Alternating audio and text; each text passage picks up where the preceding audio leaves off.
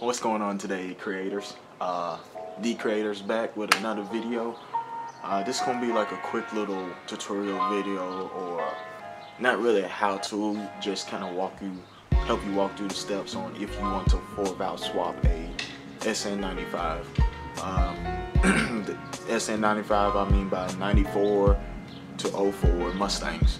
Now, this can probably work with a Fox body model, so 73 and a 93 not 100% sure about those platforms because I always been working on the SN95 style. So there's a, I got little tips and tricks for the Fox bodies, but the majority of it is going to be for the 94 through the 04 Mustangs, V6, 50, and GT. So first I'm going to walk you through the tools that you need, the uh, everything that you have to worry about with the engine, um, the wiring harness, transmission, rear end, and just tips and tricks to help you help you successfully swap your Mustang.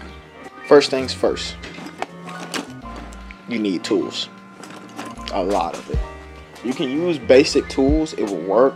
You don't have to have impacts or drills or you know power tools or anything like that, but it does help if you use it. Next thing, you need room. As you can see, my last swap, I have a lot of stuff in the garage. There's the old motor and transmission right there, collecting junk, all that different stuff. So you're gonna need room. Next thing is, you need to have an engine hoist or you can go old school and use a tree and a chain and a rope and all that stuff but it's not recommended I don't want an engine to fall on you guys so please use a cherry picker you also would need it would help to use wheel dollies let me get this stuff out the way but yes wheel dollies put underneath your wheels your transmission rear end stuff like that you need bigger jacks because you're lifting a car up. You need four jack stands. You can't just use two and then use the jack for the other things. You need four jack stands because you're going to be sitting it up high. You're going to be underneath the car. You got to make sure you stay safe because something happened to y'all guys. I'm to be so mad. I'm to be so upset. We just we just don't need that, okay? So make sure you use jack stands safety's first. Safety first. Um, another thing that you can use that you don't necessarily have to have is an air compressor for power tools and whatnot. I didn't use it. I just recently got this from a friend of mine, so I didn't use it during the swap. But if I had it during the swap, it would have been so much easier. Just another tip. Another thing that you need and is very important. You need the patience because I'm not gonna lie to you, I have a lot of patience, a lot of patience, but this car drove me up the wall. I was so frustrated, I was mad, I was getting, I was throwing tools, I was going off on people, I was on edge, everything. So you just gotta know when you start doing this, it's gonna take time. Now, if you have a little mechanical experience, I didn't. So if you do, it'll be a lot easier for you to tame with it, to cope with it. But I didn't have that, so I was frustrated. I was getting mad at my girlfriend, getting mad at my mom, my brother, everybody. So you gotta remember to stay patient because you don't want people to get mad at you because you trying to do something that you want to do. You get what I'm saying? You don't want to hurt anybody trying to do what you're trying to do. That's really it for all the tools that you need. Um, like I said, you don't need much. The majority of it is just for safety wise. You, you, you need it for safety so you don't hurt yourself. Because again, if you hurt yourself, I'm be real mad. I'm be upset. probably gonna go try and hunt you if you hurt yourself or something like that. Beat you at the hospital. I don't know. Something. You, you will hear from me if I find out that y'all got hurt from working on your car, trying to do something, trying to correct something that, you know. Anyways, let's go ahead and get to what you need. Now, whenever you're doing a four valve swap, really, if you do any type of engine swap, it's always nice to have a donor car. I know this is not another Mustang. I'm just using this as example. But I mean, it is a Ford. Even though it says Mazda, it does have Ford parts on it and whatnot. So, yeah, whatever. Anyways, you need a donor car. You need either a wrecked car or a car that I don't know you that you just don't like, or I don't know, whatever. Maybe you just don't like the color of it. You want to swap it to another one. It's not a good, not a good excuse to swap a car, but whatever. Forget about that. Anyways, you need a second car to figure out how you're gonna put it in this car. Why? Because you need to see where everything is bolt up on the donor car. See if you can match it up with this car before you even start trying to do it. Just make sure that you have the room, make sure that you can do it, and make sure that you've done your research and just you just got to double check especially if you have not done anything like this before you got to make sure you double check make sure you go with the right route and the safest and the easiest route okay far as engines with a 50 gt and a v6 so if you're starting from a gt it's actually a whole lot easier than starting from a v6 and a 5.0. Why? Because the V6 got a whole bunch of different parts for weaker stuff. The 5.0 is basically the same platform as the V6. The GT is the same platform as a 4 valve, so you don't have to really worry about much with that. And look like we got some mail, so let me go check that real quick. Now, if you're going from between a 94 and a 04 Mustang, usually everything underneath the car bolts up right. For instance, the V6 has a different coolant reservoir that sits right here. That's why this little notches right here is for it.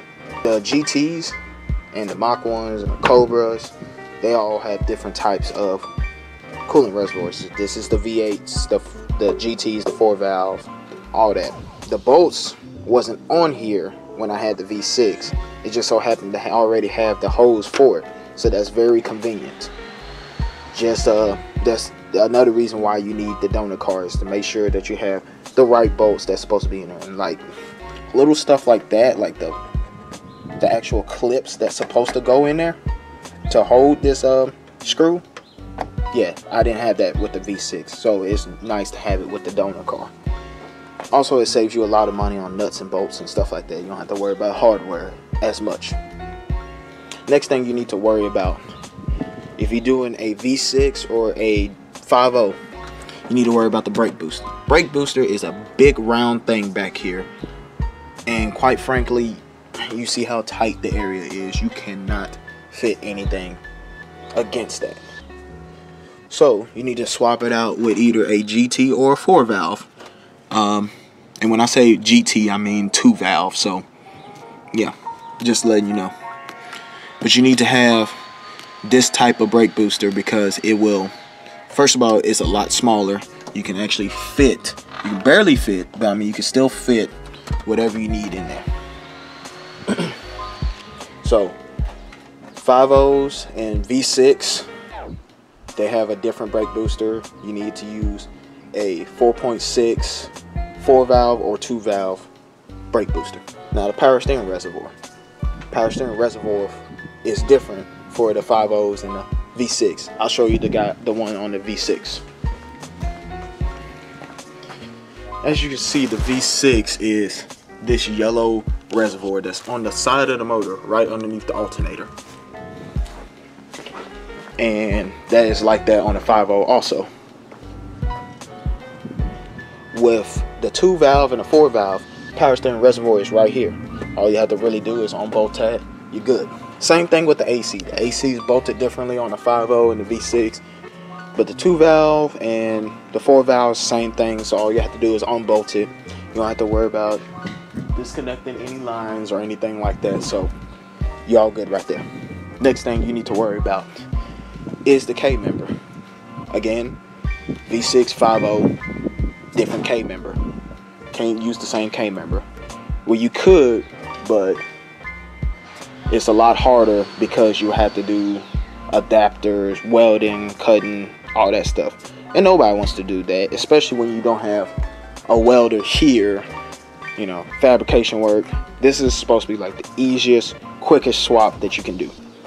So 5.0 V6 will not work. 4.6, two valve, four valve, so a GT, Cobra, Terminator, Mach 1, it will work for the four valve. Now we're gonna get to the wiring harness. Of course, if you go a four valve, you have to use the four valve wiring harness. There's no way around that unless you just like this, this uh, electrician. If you are an electrician and you can take the headache, go right ahead.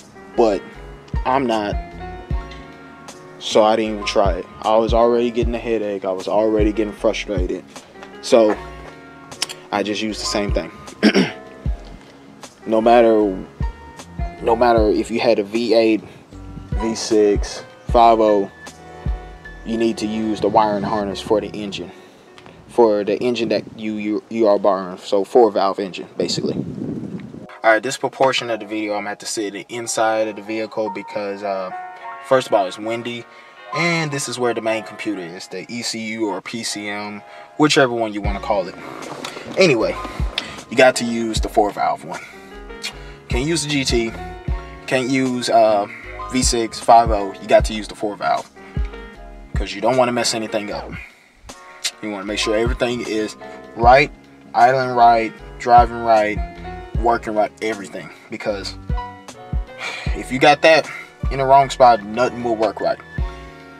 And basically, you're gonna need the ECU harness. The ECU is down here on the passenger side of the vehicle. It's down here. You pull this part off, pull the sides, uh, the thing down here. I forgot what it's called. This thing.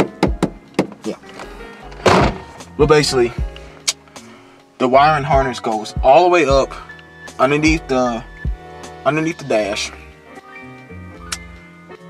through the fender connects to the engine harness and also the other harnesses that are up there that's in your passenger fender again it will help if you have a donor car if you don't have a donor car you will have to get everything that's inside the fender that you don't know about. I think it's a evap system over there that you have to change out. So a lot. So just have a donor car. It'll, it'll make your life so much easier. Another thing that you have to worry about is what type of transmission you're gonna use. If you are going automatic, you need an automatic harness. If you're going five speed, you need a five speed harness. If you're going six speed, you need a six speed harness. Now, I went automatic, but this was a manual motor. So, I had to get a transmission controller. Alright? So keep that in mind if you're trying to swap everything over. You got you got to worry about that. Make sure you have the transmission to work on. Now, if you're using a GT transmission, it can work. It's not going to be the best, but it can work for what you have as long as the bell housing is matching up to it. The bell housing is the front part of the transmission, basically the big circular part. This part right here, the big circular part. You can unbolt it from, well, you know what? On an automatic, you can't. So only on five speeds and six speeds, you can bolt it up right there. Again, just do your research because you don't want to mess anything up. And yeah, just make sure you do your research. Now inside the car, I basically took the inside of the Mach 1 wiring dash and all that stuff and put it in here. So the gauge cluster is from the Mach 1, but the dash itself is from the V6. So everything that's wired up back here, the climate control, these traction button, fog light buttons, all this stuff right here for the wiring came from the Mach 1. All the wiring for the pedals and the uh, seats, the power seats and everything came from the Mach 1. The only thing that didn't come from the Mach 1 is the power in the doors. So it still works, still plug up. The only thing is whenever you open up the door, the dome light doesn't come on. It does come on whenever you just turn it on, but as far as when you open the door, it doesn't come on. Not a big deal. Okay, now coming to the back. When I say that you need to use the tail light, the, the wiring harness from tail light to the headlight to tail light, you need to use all of it. Or else it would not work. You have to do a whole bunch of cutting splicing. so just reuse it so you don't have to worry about doing any wiring or anything like that so you don't mess up get a headache all that good stuff now the rear end the v6 and the 5.0 rear end will not work for a 4 valve why because okay the v6 is a 7.7 rear end the 4 valve is a 8.8 rear end Let's see if I can get that. It's probably a little dirty underneath here, but yeah. Yeah, it's pretty dirty, but yeah. the four valve rear ends are actually an inch longer than the normal rear ends, I believe. So that always works out better, get you more traction. uh, the V6 and the 5.0 is only one wheel spin so open posi. So it will not exactly work for the power that you're trying to put down for the V8 of the four valve. Gas tank I did have to switch out. You don't have to, but I did switch out just because it was already there. I didn't have to worry about wiring or anything. So it bolted right up. I believe it works for the Fox bodies too. So Fox body people, perfectly fine. You'll be able to do it. Now the tailpipes, I did get the tailpipes from the 4 valve. I could have used the tailpipes from the V6. Really any tailpipes can work or basically exhaust. Any exhaust will work. The only thing that you really have to worry about is the, the headers, the exhaust manifold. So if you want to go with long tube headers, make sure you get the 4 valve long tube headers. You can't use the V6. You can't use the five O's, it would not work. But that's pretty much common sense. Well, there you guys have it. That's a quick little overview of what you should do whenever you four valve swap your car. Now, you can add a little bit touches here and there, like I add the hood. You don't have to have the hood. You can actually use the stock hood for anything. Uh, the reason why I use the cowl hood so I can use the shaker. But I didn't have to use the shake or I didn't have to use the shaker. I didn't have to use the cowl hood. The stock hood right over there will actually work for it. So that's good. Um, that's pretty much it. It's really a straightforward swap if you had the donor card right next to you. So just take your time, be patient, be safe, and don't stress out over it because it's a project that we are just doing because we want to do it. We want to have fun. So create things, be great. That's all we're doing here. But if y'all have any questions, y'all know how to message me on Instagram, Facebook, whatever you want to message me on. And I will get back to you guys on that. Um, but that's it for this video. I hope you enjoyed it. Please like, comment, subscribe. Any questions, ask them. But um, yeah, that's it. And one more thing, you've been working with the elect the electrical, the wiring, the gas, all that good stuff. You don't want all your uh, hard work going down the drain. So, uh, one important thing you need for safety is a fire extinguisher. You don't want all your hard work going down the drain. So, trying to prevent that. Safety first. Like I said, stay safe. I'll be mad if something happens to you guys. All right? Catch you on the next one.